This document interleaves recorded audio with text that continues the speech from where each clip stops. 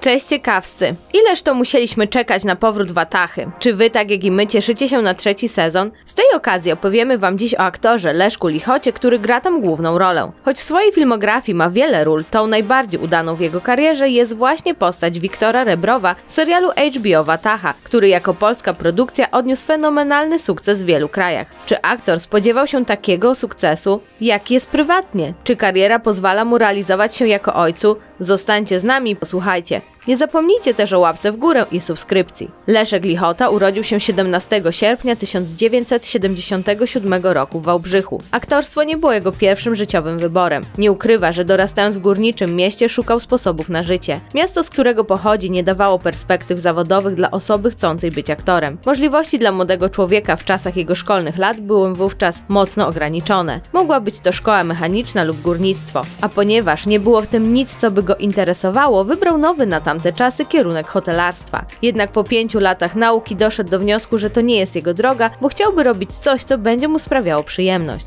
Postanowił więc wyjechać i zdawać do szkoły aktorskiej, gdzie szybko dostrzeżono jego talent. W 2002 roku ukończył studia na Akademii Teatralnej w Warszawie i od razu związał się zawodowo z Teatrem Polskim w Poznaniu, gdzie nadal można go oglądać w wielu spektaklach. W 2003 roku trafił do obsady serialu na wspólnej, a rola prostego chłopaka Grześka Zięby zapewniła mu sympatię widzów i rozpoznawalność. Nie dał się jednak zaszufladkować rolą w jednym serialu i na przestrzeni lat brał udział w kilkudziesięciu mniej lub bardziej udanych produkcjach. I tak na przykład bardzo dobrze został odebrany jako jeden z pierwszoplanowych aktorów w filmie Lynch. Znany jest także z bardzo lubianego przez polskich widzów serialu Prawo Agaty, gdzie rolą Marka Dębskiego partnerował głównej bohaterce granej przez Agnieszkę Dygan. Tymczasem w 2014 roku miała miejsce premiera serialu Wataha, który przyniosła mu naprawdę duży rozgłos i uznanie. Produkcja HBO okazała się tak świetna, że emitowana była w wielu krajach, przykład na brytyjskiej stacji Channel 4 pod anglojęzycznym tytułem The Border, a HBO Europe zaprezentowała serial w 15 krajach i na festiwalu Serious Mania w Paryżu. Drugi sezon serii był już wyczekiwany z niecierpliwością przez widzów wielu narodowości, stąd serial ma premierę jednocześnie aż w 19 państwach za pośrednictwem poszczególnych oddziałów HBO. Czy Leszek spodziewał się takiego sukcesu? Cóż, jak przyznał w wywiadzie, od razu gdy przeczytał scenariusz wiedział, że będzie to dobra produkcja i że warto poświęcić na nią swój czas, jednak rekordy popularności, które Wataha zaczęła bić, przewyższała jego oczekiwania.